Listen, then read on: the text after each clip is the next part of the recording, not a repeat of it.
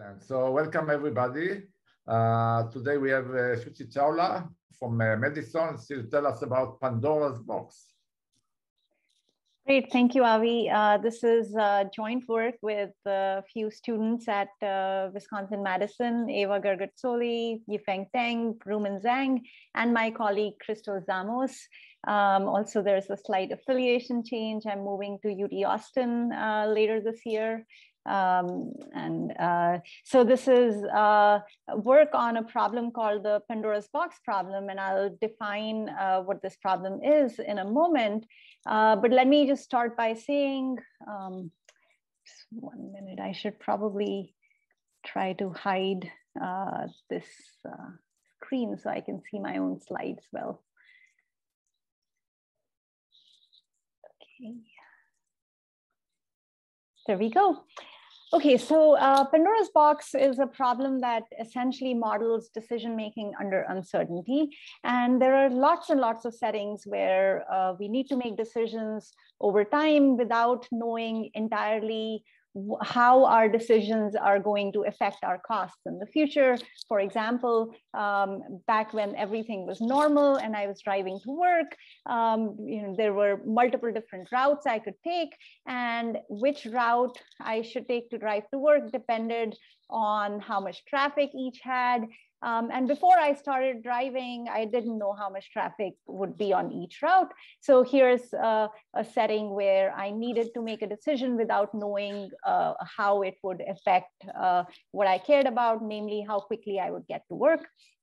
Likewise, um, another uh, setting that I've been thinking about nowadays is uh, when you're on the housing market, as I am uh, uh, in Austin, since I'm moving there, uh, you know, you look at a house and you try to figure out how much should I bid on this house without knowing uh, its uh, exact worth um, and what's going to come on the market later.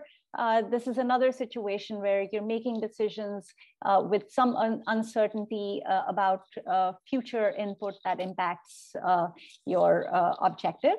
Um, so there are many, many different situations of this sort. And the common feature here is we have limited information about the input to the problem.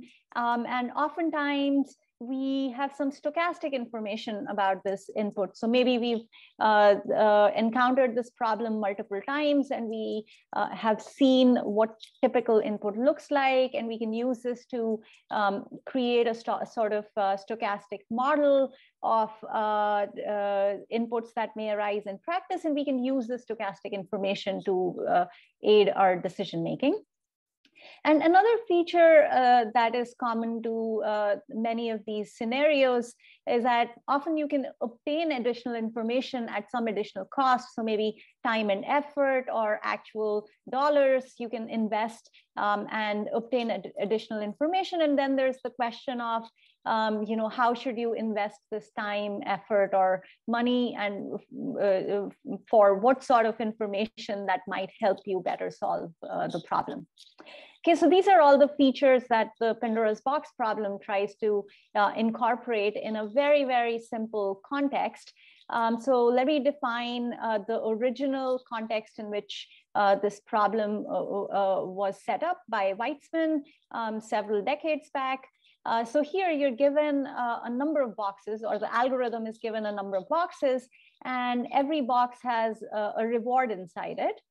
And we don't know uh, how much reward is contained inside uh, any box, but we're given distributions from which these rewards are drawn. So these are the distributions, D1, D2, etc. And then um, our goal is uh, ultimately to select one box and then the algorithm gets the reward that's contained inside it. Um, but the algorithm is also allowed to open the boxes at some cost. So we're going to call this cost the, the probing penalty uh, for these boxes. So these T's denote these probing penalties. And so the way the process uh, works out is uh, you pay this probing penalty T1 and maybe you decide to open box one. And when you open it, you see the reward uh, that was drawn from the distribution D1 and this reward is realized.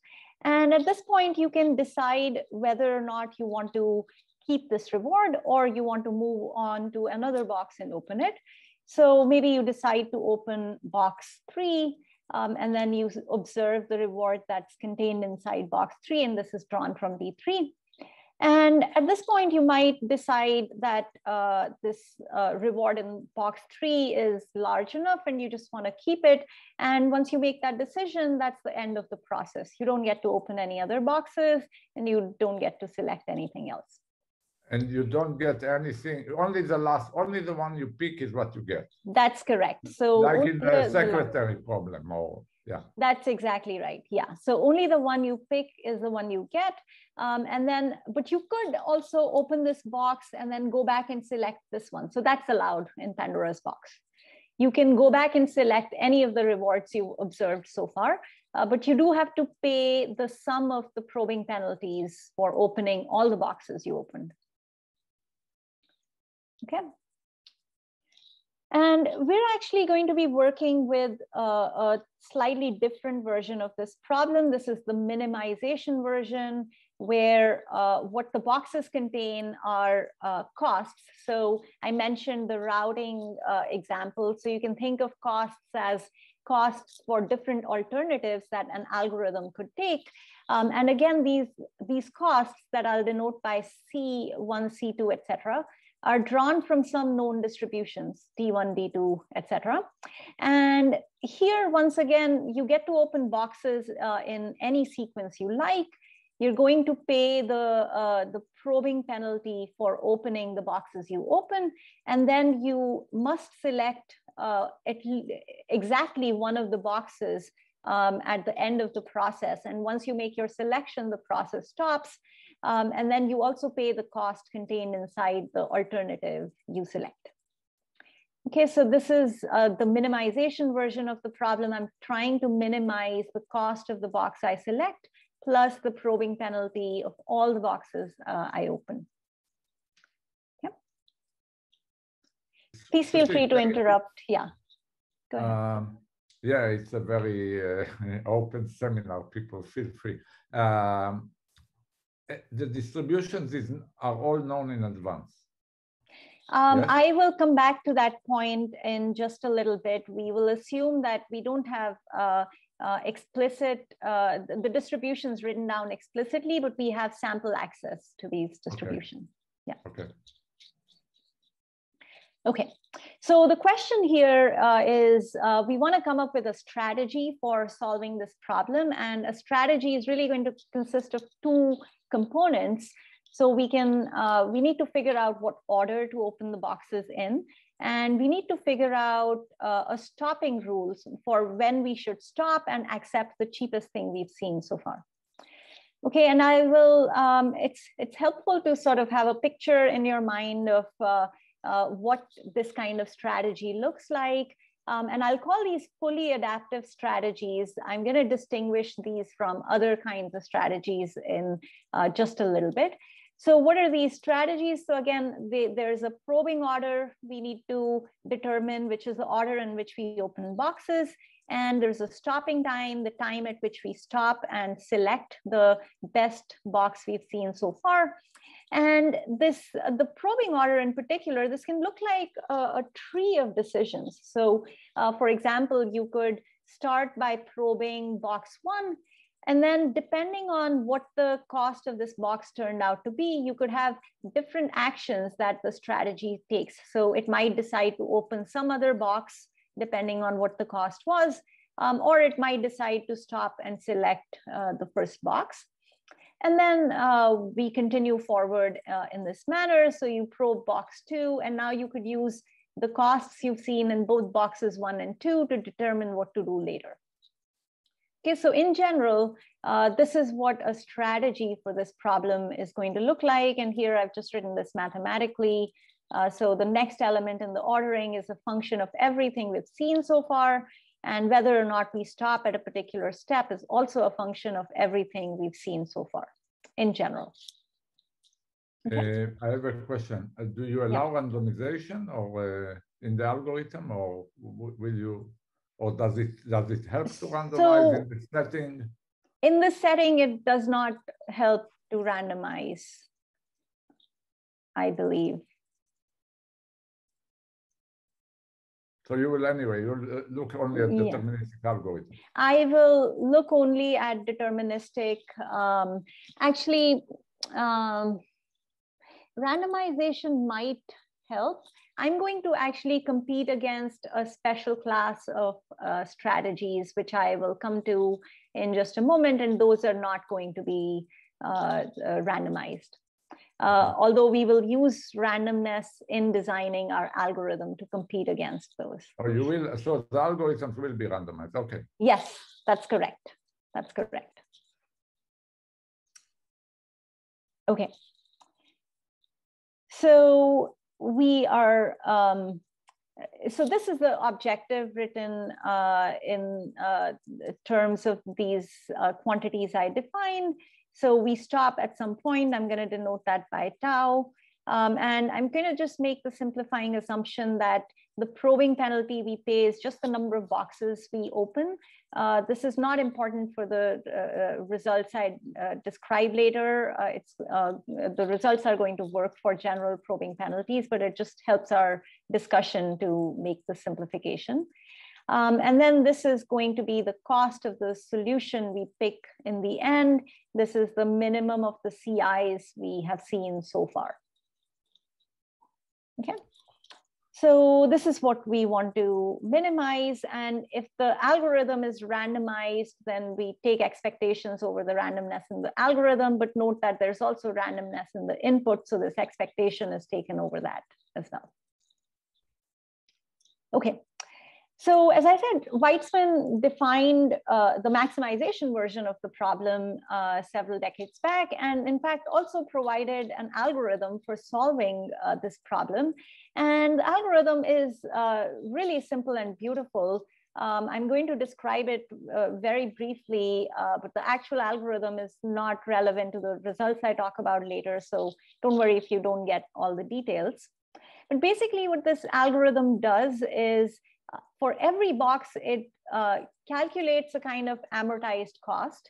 Um, and in some contexts, this is uh, the same uh, amortized cost that's also known as the Gittins index, uh, if you've heard this term before.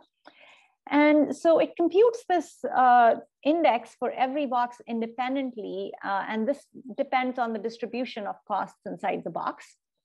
And then what it does is to probe the boxes. Uh, so it, it sort of pretends that the indices are really the true costs contained inside the boxes, and there's no probing cost at all. So the way it, it does this amortization is it says that um, if I pick a particular box, I'm going to pay uh, uh, more than my share of the probing penalty for this box. But if I don't pick this box, then I'm not going to pay any probing cost at all.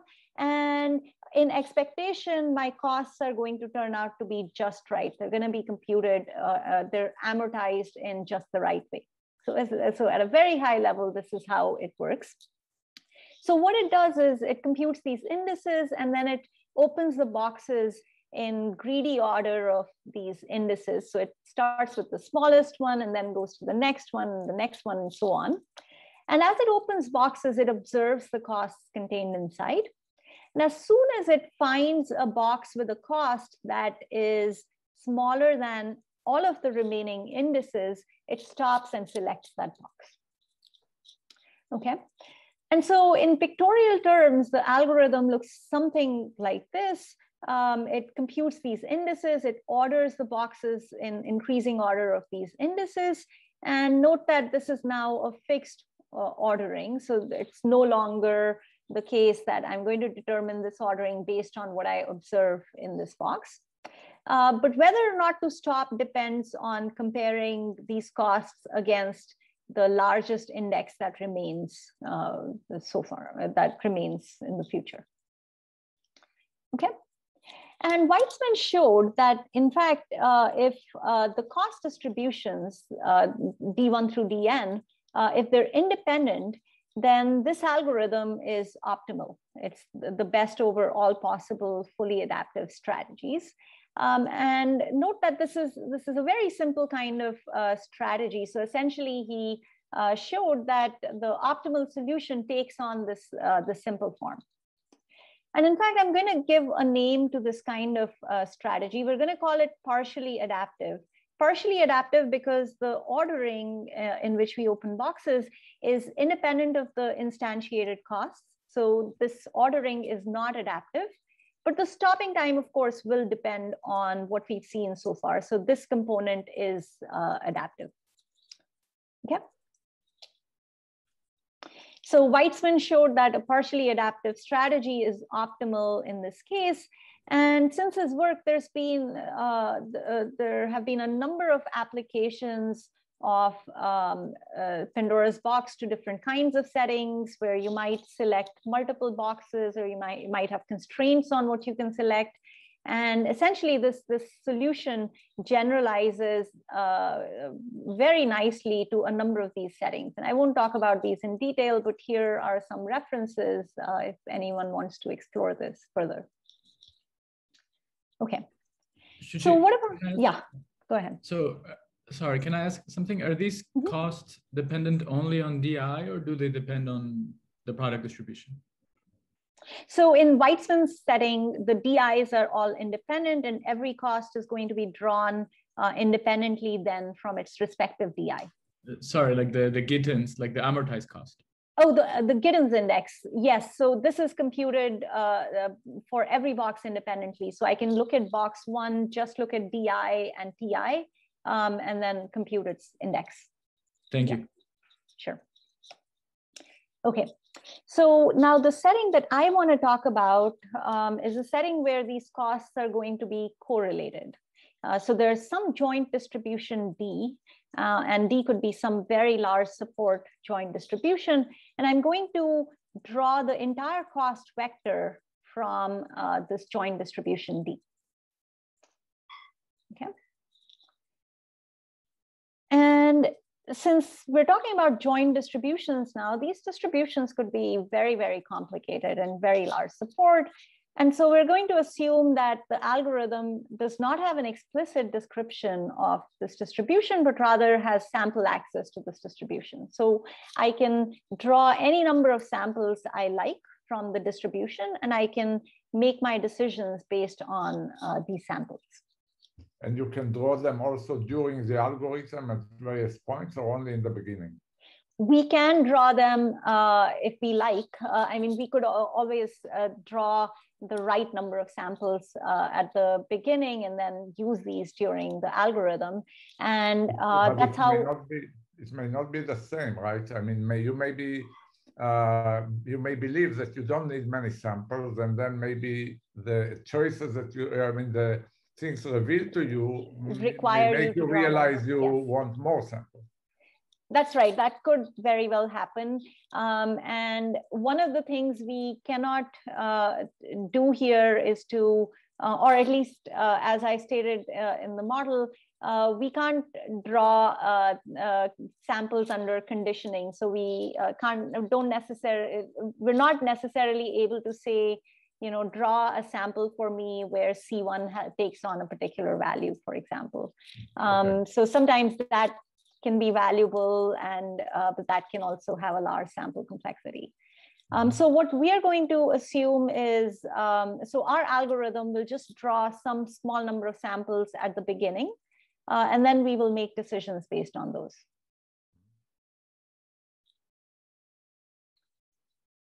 Okay, so uh, just to reiterate the model once more, uh, we have uh, the setting with boxes uh, and boxes contain costs inside them. And these costs are drawn from some joint distribution. And I'm going to call uh, every possible um, vector of costs that uh, is that can be instantiated from this distribution. I'm going to call these vectors scenarios. So there's a distribution over possible scenarios and we draw one scenario uh, for the algorithm. And again, we can open every box at a penalty of one. And our goal is to open some number of boxes uh, and select a single box so as to minimize the cost contained in the box we select plus the total number of boxes we open. And what about the cost of the samples? Uh, there's no cost of, uh, of drawing samples, but we do want the sample complexity of the algorithm to be small or polynomial in the, the, the uh, right parameters. And uh, it'll turn out, uh, just looking ahead, that uh, the number of samples our algorithm requires is polynomial in the number of boxes.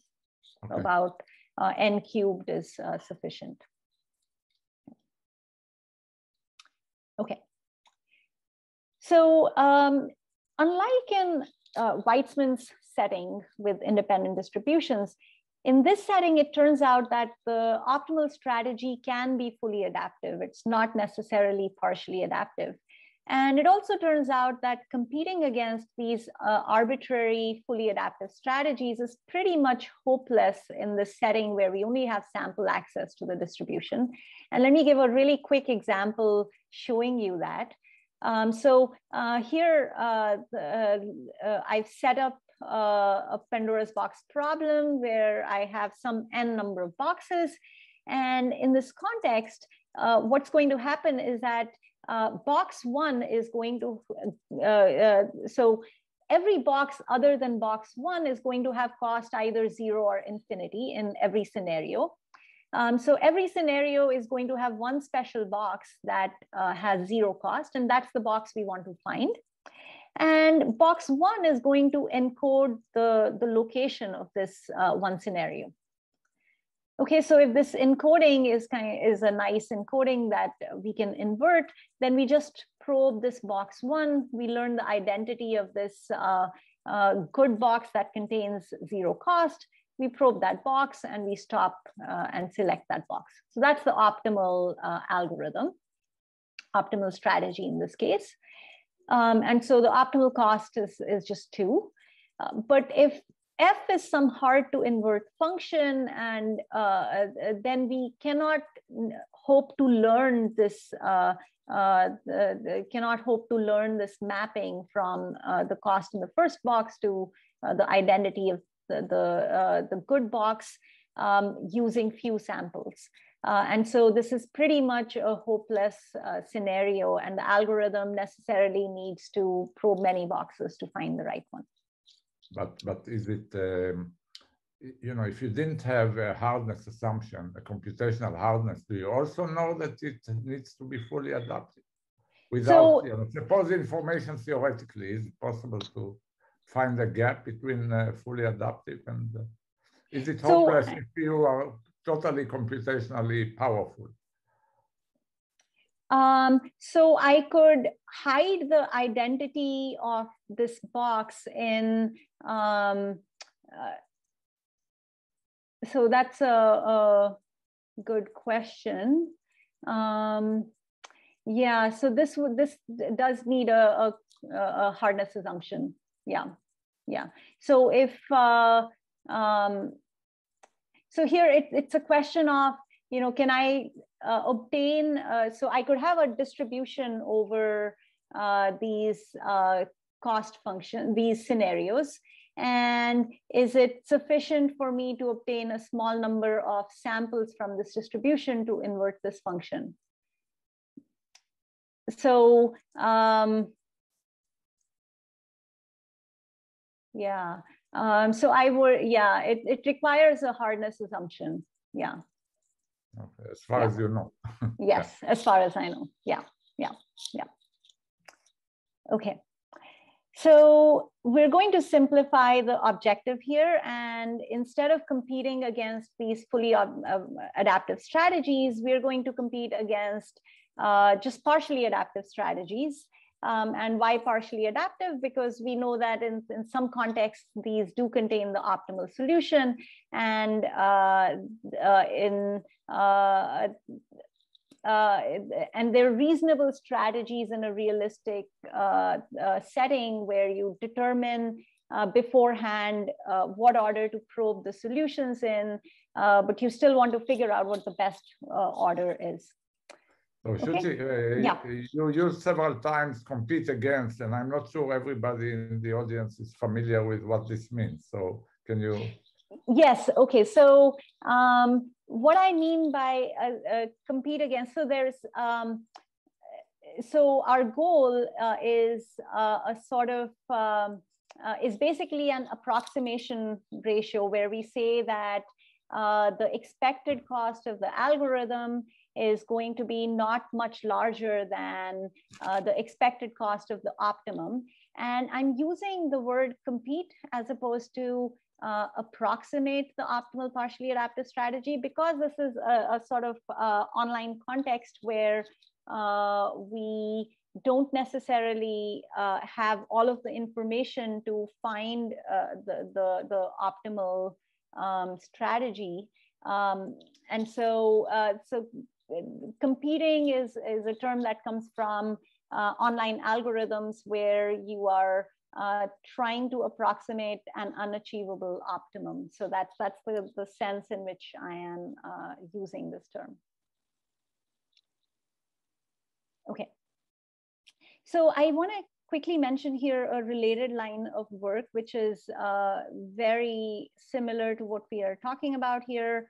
Um, so there's uh, something called the optimal decision tree problem, which is in many ways very similar. You're trying to learn an optimal uh, um, uh, decision tree, but the typical assumption in this line of work is that the number of scenarios is uh, small and it allows both um, uh, a running time that depends polynomially on the number of scenarios, and it also allows um, uh, approximation factors uh, that are that depend in some way on the number of scenarios. So we are uh, explicitly, in this example uh, that I described is explicitly set up for a setting where the number of scenarios could be very, very large and we um, don't have an explicit description of the distribution uh, uh, given to us.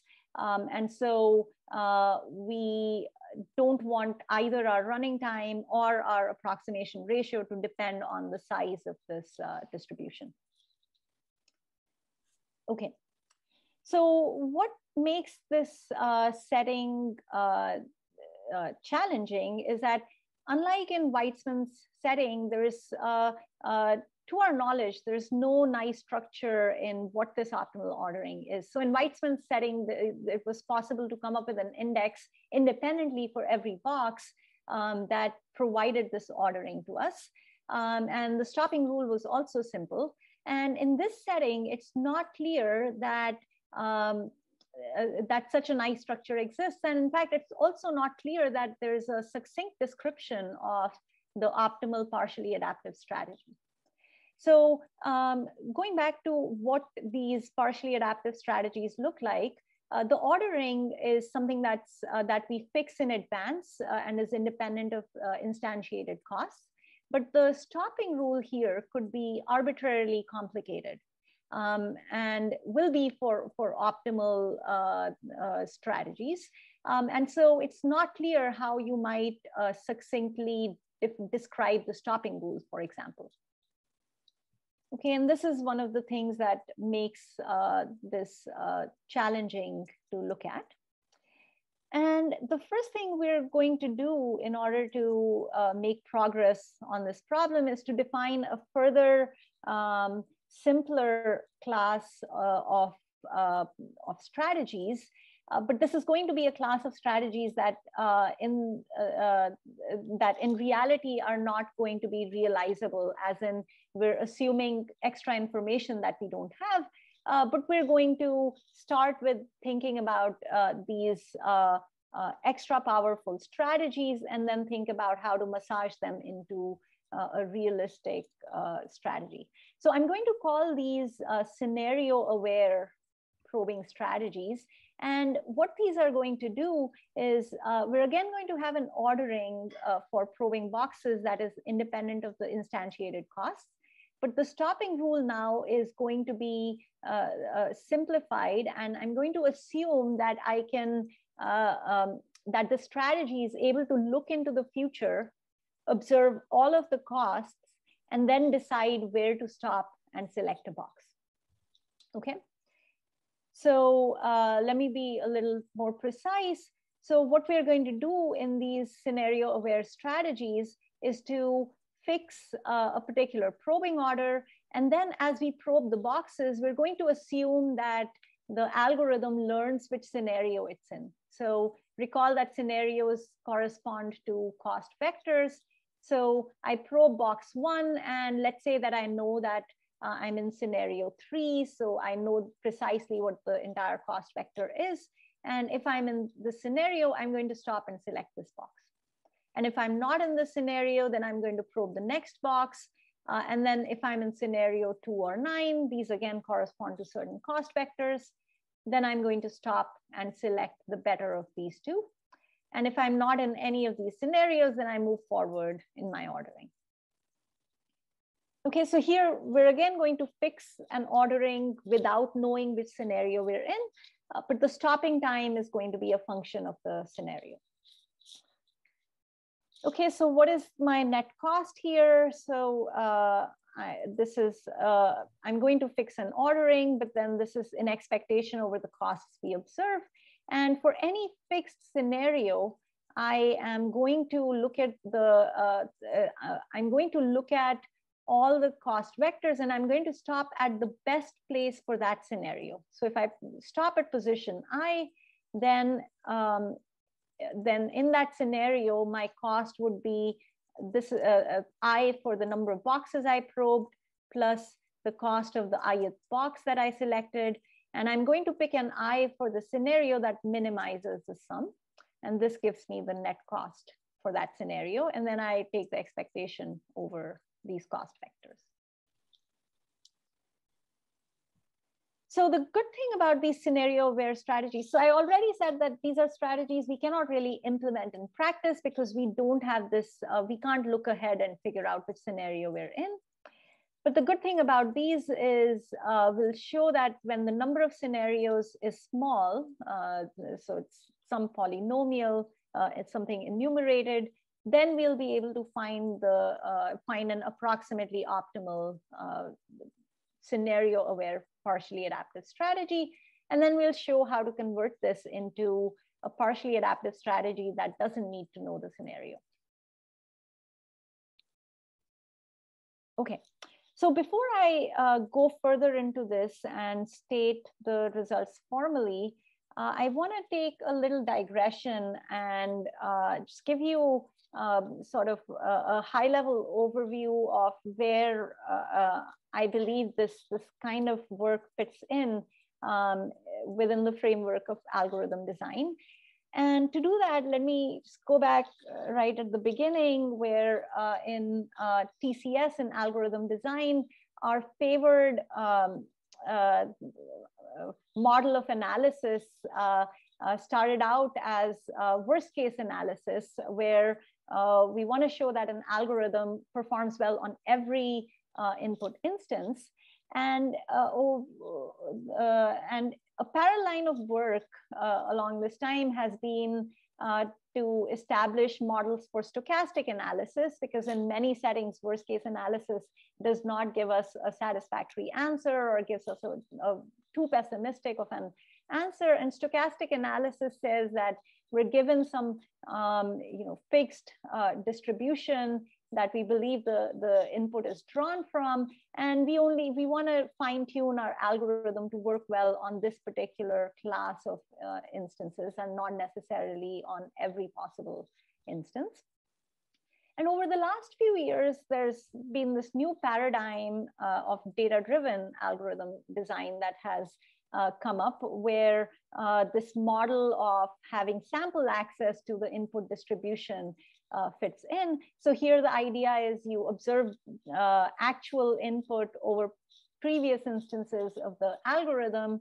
And the straightforward way of, of applying this approach would be to learn a model or let's say an empirical distribution over uh, the observed instances and then fine tune your algorithm for it but there are alternate ways of approaching data-driven algorithm design where you say, well, I'm going to fix some parameterized class of algorithms, and then I'm going to directly tune these parameters based on data. Um, or I'm going to learn the right algorithm from this class, uh, sort of like how in machine learning, we learn concepts from a given class using data. And this has been applied in, in several uh, on several problems very successfully. Uh, but within this new paradigm, one might ask the question of, uh, you know, what is this right parameterized class uh, of algorithms uh, over which you should tune your parameters or over which you learn from data? And I want to um, propose uh, a, combination of these uh, different paradigms or different approaches that brings in uh, a worst case aspect to uh, data driven algorithm design. And uh, here uh, we're going to have a, a threefold goal, which says that um, I'm, uh, I'm in this data rich setting. I'm going to find some class of algorithms that I'll call C here, which uh, can not only be learned over well, so we can uh, optimize over C or we can learn the best algorithm over C using low sample complexity uh, and uh, in a computationally efficient manner. But also at the same time, this class C um, is, uh, it always contains approximately optimal solutions, even in the worst case. So this, this basically brings together these two different uh, approaches where it, it says that we want a class that is at once expressive in the worst case sense and is learnable in this data driven uh, sense. And this is the sort of guarantee we will be able to achieve for uh, the Pandora's box problem. Okay. So coming back to Pandora's box, uh, essentially our, uh, our main result says that we can learn an approximately optimal partially adaptive strategy efficiently from data. And this, uh, this has three components along the lines that I described on the previous slide.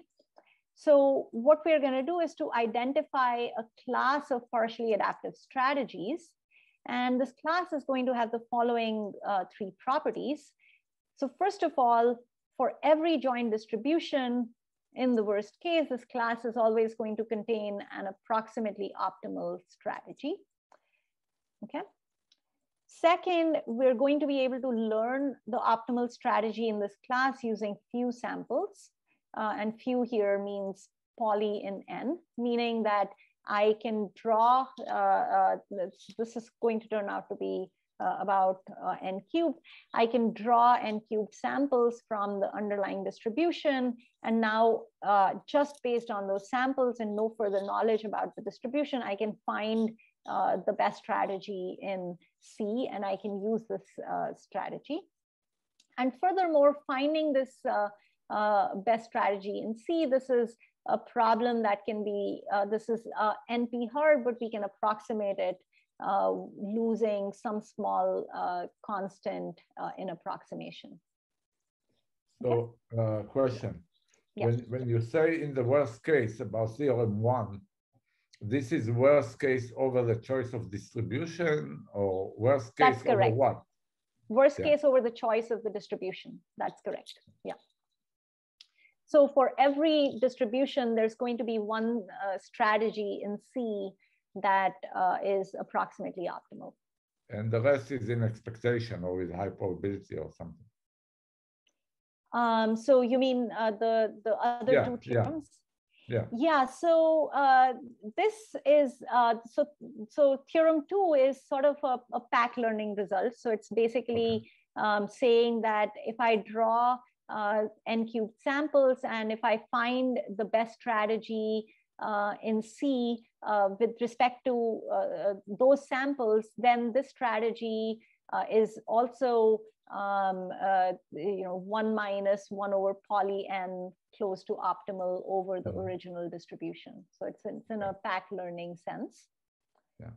Um, and then theorem three is basically saying that now that I draw, I, I, have drawn these samples, so I now have n cubed different samples. I now have an explicit distribution, the empirical distribution over these n cubed samples. How do I find the best strategy in C over these, uh, uh, over this uh, small support distribution now? Um, so that problem can be uh, solved uh, approximately uh, with uh, this approximation ratio in a computationally efficient manner. Mm-hmm. So this is again, uh, theorem three is again a worst case result because this uh, uh, distribution could be arbitrary. And this is a worst case approximation ratio for that problem. Does that address your question?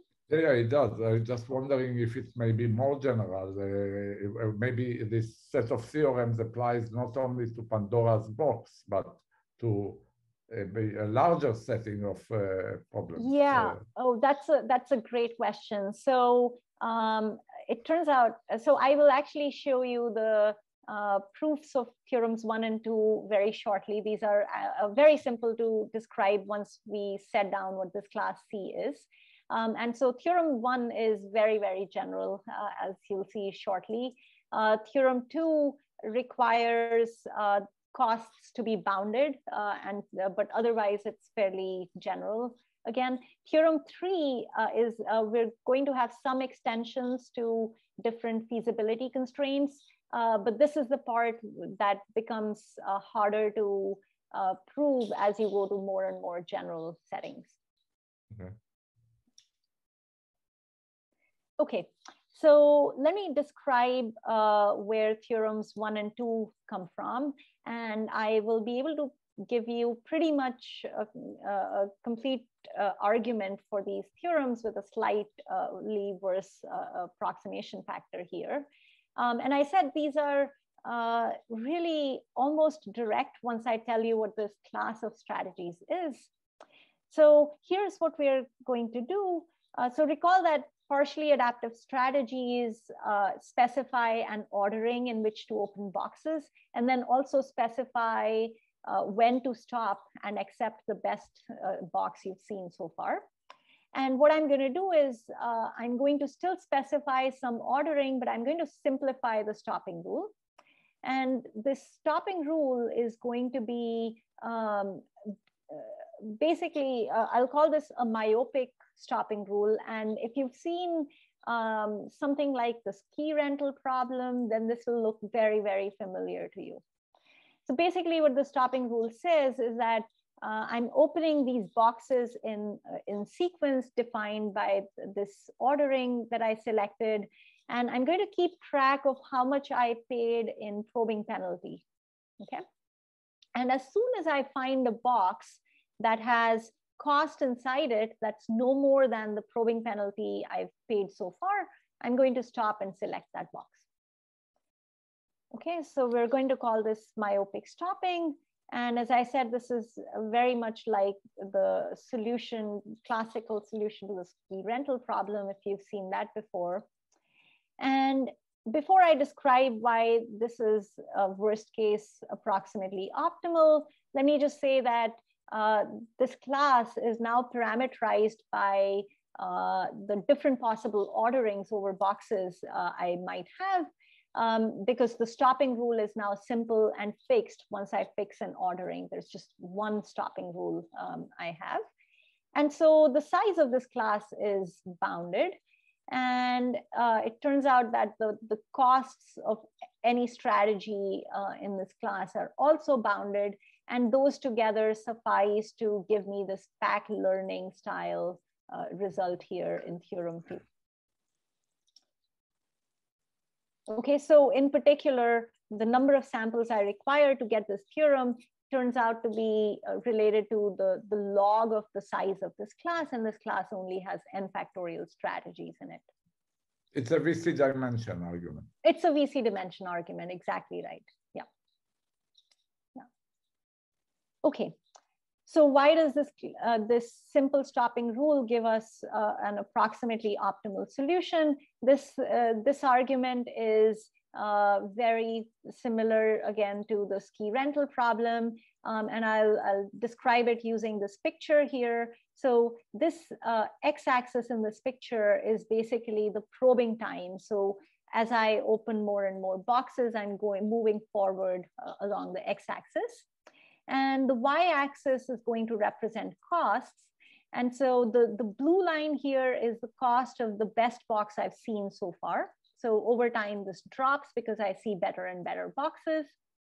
And this orange line is my probing penalty that I'm paying by opening more and more boxes. So this increases over time.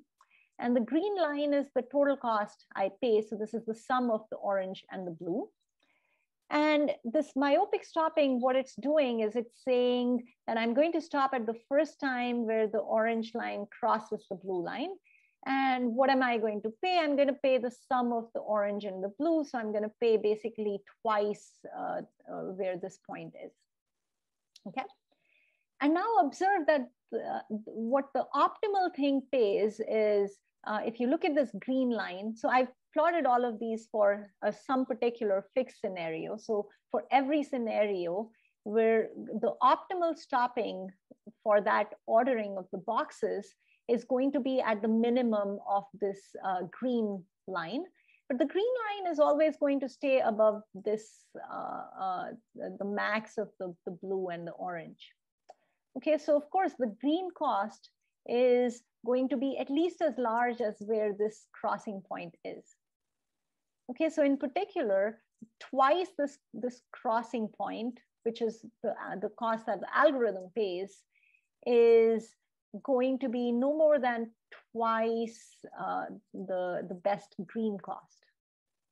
Okay, and that's, that's what this factor of two is saying here. It says that if I stop here, I'm within a factor of two of green. So, so the sum here is going to be no more than twice the best point here.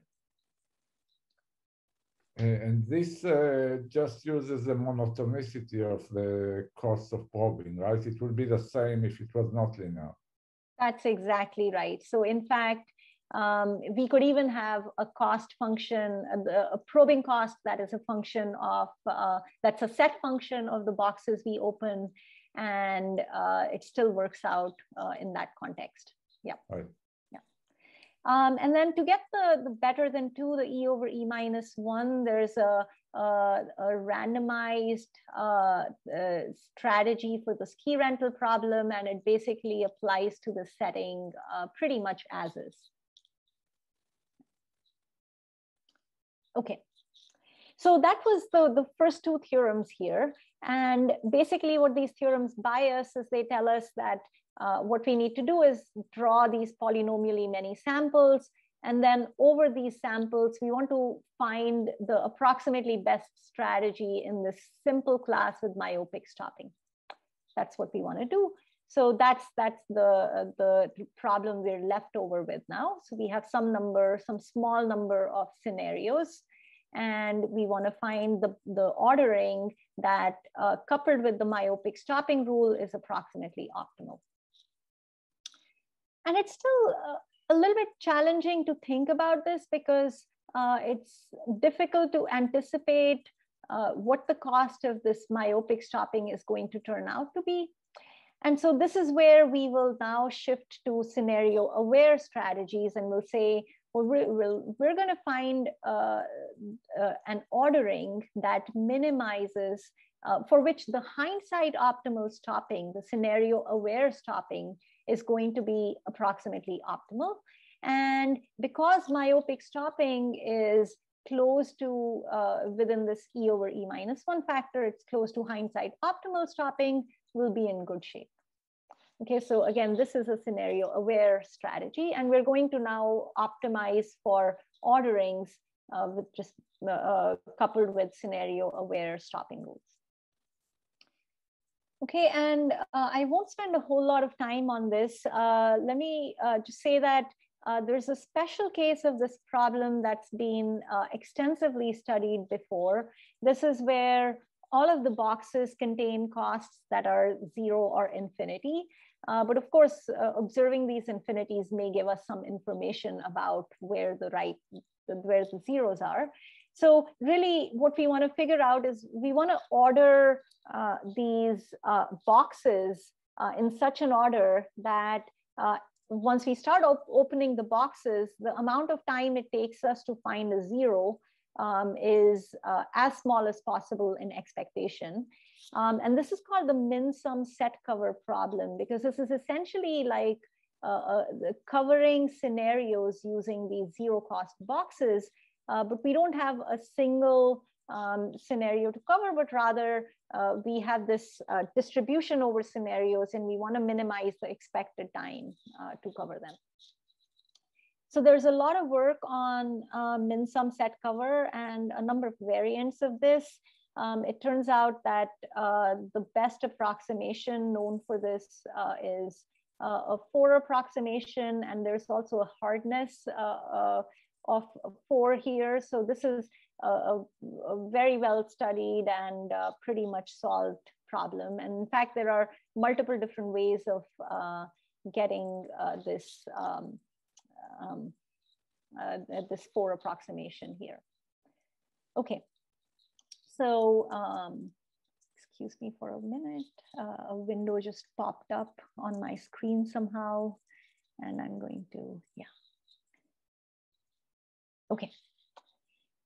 So um, this is very well studied. In our context, uh, the, the setting is a little bit more challenging because uh, when we open a box and observe its cost, it's not immediately apparent whether we should select this box or move forward. In min-sum set cover, as soon as you find a zero, you can stop. So uh, again, this is a matter of uh, knowing when to stop. And that's where scenario aware PA strategies can come, uh, come in and help us. Um, so what we do is to develop an LP rounding approach for this. Um, and uh, I'll very, very, very briefly say what this is. So basically, we first um, uh, use, uh, we first write a linear program uh, to capture um, uh, fractional relaxations of scenario aware uh, strategies. Essentially, what this linear program amounts to is writing down permutation constraints which uh, capture um, uh, uh, you know, uh, basically um, matchings or or you know a permutation matrix um, and then uh, once we have these set down, we have other variables that describe whether or not uh, you can uh, select a, a, particular box at a particular time for a particular scenario. So that's what these extra constraints are doing. And what these first few constraints give us is a distribution over uh, permutations, uh, essentially. Um, and uh, one sort of immediate idea that uh, uh, uh, comes to mind when you see this is to say, well, I'm just going to pick a permutation from this distribution and maybe that'll have a good cost. And that turns out to not be uh, the case because this LP can, um, uh, can do its um, can do its box selections in a, a clever way in order to reduce its uh, eventual costs so that just selecting a random permutation from uh, these constraints is not going to capture properly uh, the costs defined by selecting boxes. So instead, um, in order to round the solution, what we need to do is for every scenario, we need to look at the right prefix of uh, this uh, permutation matrix and we need to select a, a sort of a random partial permutation from that prefix and that determines the box selection costs appropriately. And um, so I'm going to skip over some of these details. I'm happy to go over these uh, afterwards if anybody is interested. Uh, but let me just say that, uh, um, yeah, let me just say that um, the, the, the prefix that we should select for every scenario de depends on what that scenario is, but we use a, a, sort of standard doubling trick where we say that we're going to look at a prefix of size one um, and select some boxes for that prefix. Then we're gonna look at a prefix of size two, select some boxes, then a prefix of size four and eight and so on. And by looking at these um, uh, prefixes of, of uh, lengths that double every time, we make sure that for every scenario, we find some prefix that, uh, that closely matches the right thing to do for that scenario, while also making sure that we haven't spent too much cost in the past few iterations. So it doesn't add up uh, to too much. Um, and so uh, this sort of rounding idea gives us our eventual ordering over boxes. Um, and we're able to show that the, uh, the loss in, uh, in cost relative to what the, uh, the linear program pays is only uh, uh, some constant factor turns out to be close to six. Okay. And so, this is the only place you use randomization, right? In the round. That's correct. That's exactly right. Yeah. Yeah. So let me just reiterate, you know, at a high level what the algorithm looks like. Um, so we, we draw some polynomial number of samples from the distribution. We set up the linear program on these samples uh, and we solve this linear program. And then we use this uh, LP rounding approach uh, the, uh, using this doubling trick in phases. Uh, and what we do you, uh, through this LP rounding is to find a good probing order. And then we use this probing order along with the myopic stopping rule to get the final uh, strategy. Uh, and this gives us the final algorithm. And there's some uh, loss uh, in approximation from this LP rounding. And then there's some loss in approximation from uh, going from uh, a scenario aware stopping in the second step to a myopic stopping in the third step. And that gives us this final approximation factor, uh, turns out to be uh, between nine and 10. Okay. And a similar approach works uh, in slightly more general settings. So if you have a Pandora's box problem where you must select K boxes uh, for some K larger than one, then uh, we have a, a, slightly different LP rounding approach, but most uh, at a high level, the strategy looks pretty much the same. And this also uh, gives a constant factor uh, approximation uh, independent of K. And then there are some settings where you have a further, uh, a more general feasibility constraint on how many boxes you should select and which boxes you can select.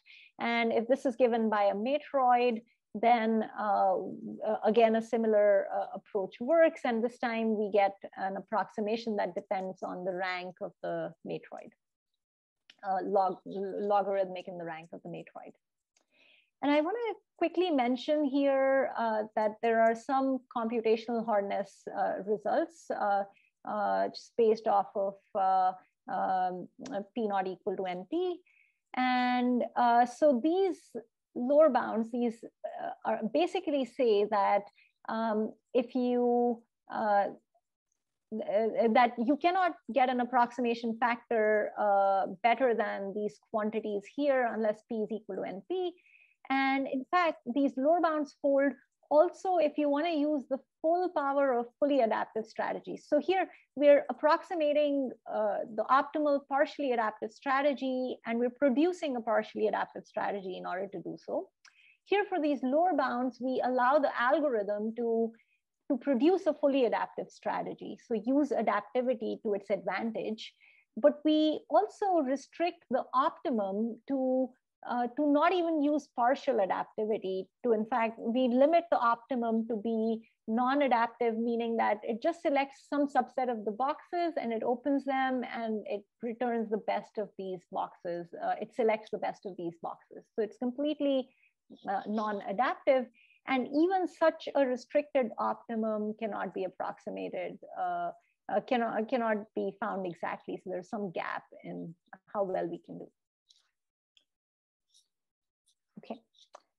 So those are uh, our results, and I will uh, now conclude. I'm nearly out of time. Um, so there are uh, several interesting open directions here. Uh, one could get an improved approximation. Uh, one could ask, uh, you know, I can't approximate the optimal fully adaptive strategy. I can approximate the optimal partially adaptive strategy. Is there some other class of strategies in between uh, that uh, one can, that are approximable uh, and that are achievable.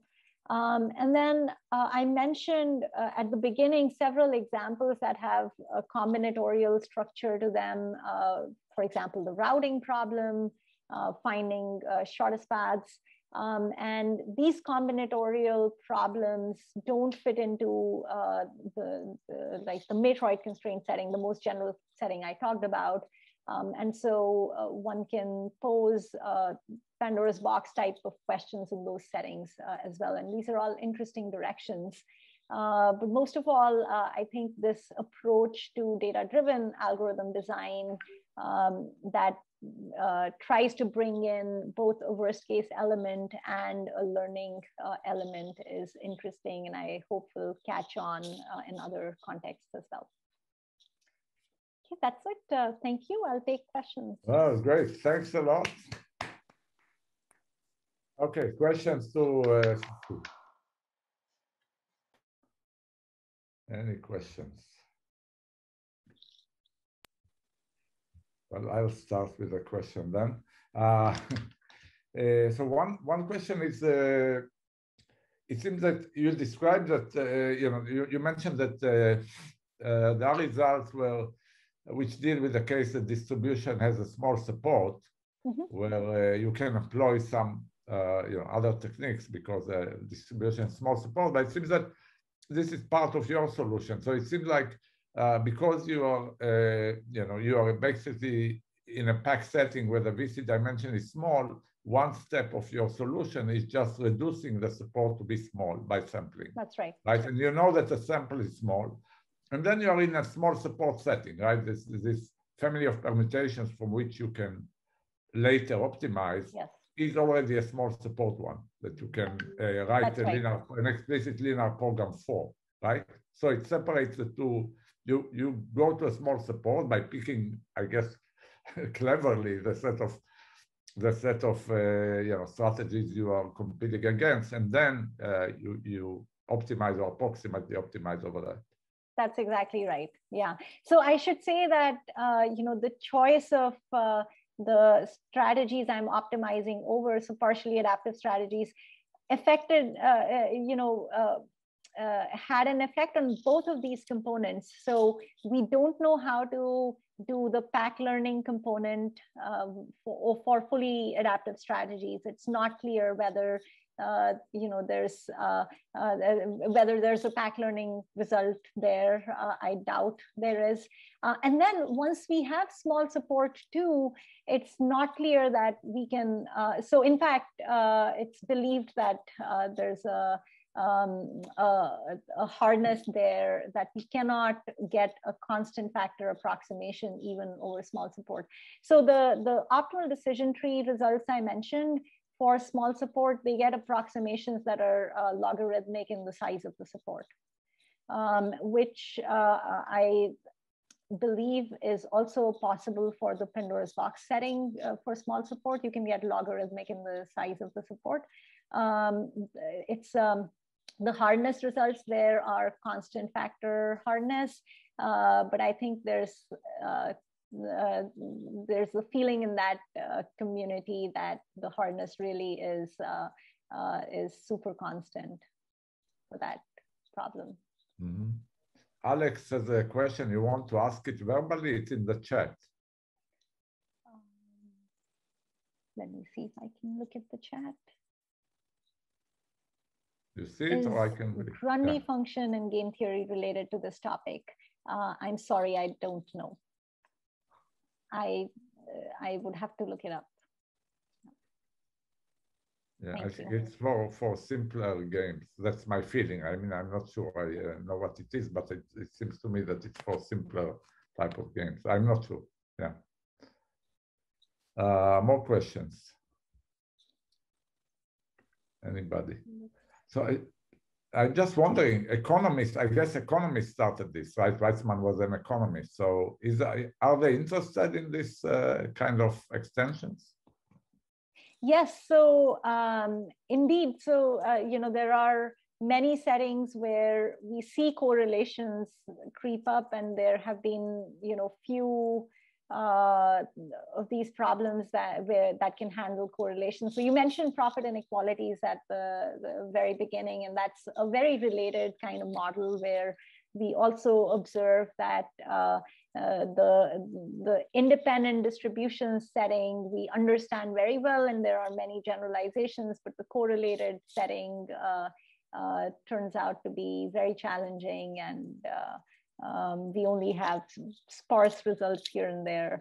Um, so uh, I, uh, this is, uh, yeah, this comes up as a, a, a special case in many different um, uh, mechanism design settings, uh, for instance, which is optimization in uh, economic or strategic context. No, I'm sure it arises in statistics and economics. I'm just wondering whether these people in these communities are interested are interested in, in yeah yeah yeah. So i think uh, a lot of the the older work here uh, is uh, from more from the optimal stopping community more so than the economics community. Um, connections have uh, exist and and have been uh, noted but i haven't seen particularly you know the theory work or or algorithmic work from that community. Mm -hmm. More questions Anybody? All right. So otherwise, let's thanks uh, Shuchi again. It was great. Great. Thank you very much. Thanks. All right. Me. See you all.